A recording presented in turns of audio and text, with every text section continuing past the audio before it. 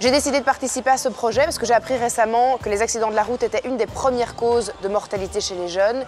Et ça, c'est vraiment effrayant. Il faut savoir que moi, je suis maman de trois enfants et donc c'était important pour moi de conscientiser aussi euh, mon public de jeunes ados euh, qui, me, qui, me, suivent sur les réseaux sociaux. Si on est dans une situation où on a trop bu, où on se rend compte que ben, le pote ou la copine qui prend le volant n'est plus euh, dans ses capacités de pouvoir conduire le véhicule sans que ce soit un danger, il faut téléphoner à quelqu'un, il ne faut pas avoir peur d'appeler et de dire ok moi je peux pas rentrer, je veux pas prendre la, voiture avec toi ou je rentre pas dans la voiture. Mieux vaut se faire engueuler parce qu'on a téléphoné à 3h du matin parce qu'on avait un souci pour rentrer à la maison que de prendre le volant ou de rentrer dans un véhicule avec quelqu'un qui n'est plus, euh, qui plus capable de rouler. Alors la drogue au volant, en trottinette ou à vélo, tu oublies.